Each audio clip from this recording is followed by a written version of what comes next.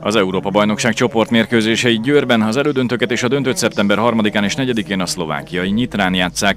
A magyar válogatott Németországgal, Szerbiával, Olaszországgal, Oroszországgal és Fehér Oroszországgal került egy csoportba. Horváth András szövetségi kapitány azt mondta, hogy a cél a továbbjutás, amely azonban óriási teljesítmény lenne. Próbálunk a lehető legmegfelelőbben felkészülni, akár a videókból, akár az eddigi tapasztalatainkból. Nagyon sokat dolgoztunk, több mint két hónapja tart a felkészülésünk.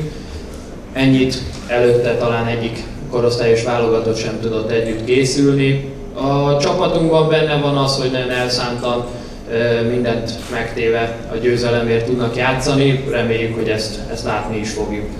Radnóti Ákos alpolgármester reményét fejezte ki, hogy mivel a város már több korosztályos és felnőtt kontinens fiadalt is rendezett különböző sportágakban, Győr jó versenyt tud majd lebonyolítani, ezáltal népszerűsíti ezt a sportágat is. Nekünk hál' Isten a tapasztalat megvan a versenyek leszervezésében, ezért köszönök mindenkinek, aki részt vesz ebben, hiszen valóban Győrben sok sportrendezvény van, már van ebben gyakorlatunk, de nagyon fontosak a létesítmények.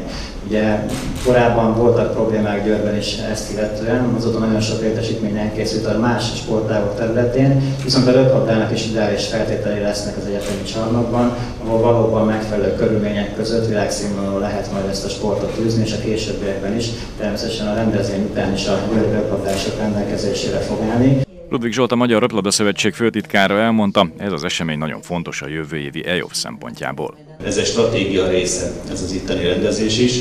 Valóban a, a top rendezvény az jövőre az EOF rendezvénye lesz, és valóban ennek igyekszünk alászentelni már ezt a rendezvényt is, és nagyon igyekszünk, hogy az EOF-on már csúcs rendezők lehessünk Győr városával együtt, ezért még a jövő évi EB előtt rendeznénk egy tesztversenyt, ami pedig a Közép-Európai Röplabda Szövetség által meghirdetett ifjúsági bajnokság lesz.